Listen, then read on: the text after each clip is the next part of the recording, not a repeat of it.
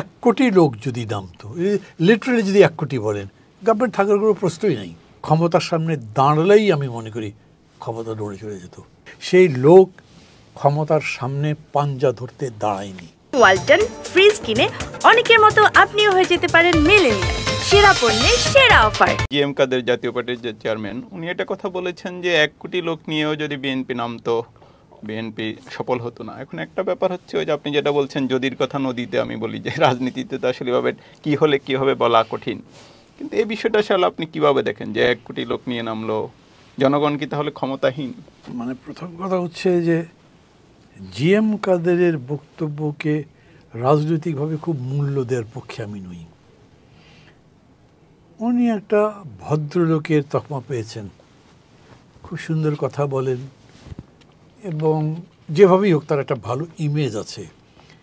কিন্তু করেছেন কি? এই ফ্যাসিবাদের সাথে আপোষ করেই তো চলেছেন।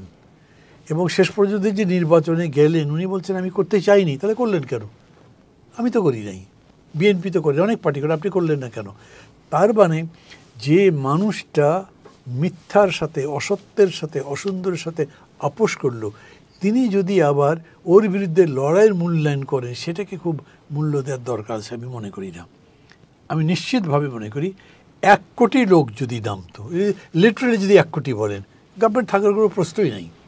জাস্ট আমি বলি, কোনো প্রশ্ন নেই। কেন? এক কোটি লোক জায়গায় দিতে পারবেন না। এক কোটি লোকের সামনে কোনো পুলিশ যাবে না।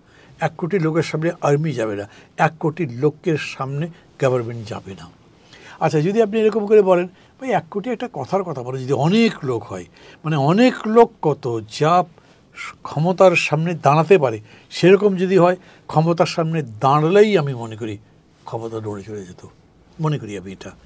আমি আবার বলছি, কোটি কোটি লোক আসে বা কোটি লোক আসে, কিন্তু দশ লক্ষ লোক তো আসছিল।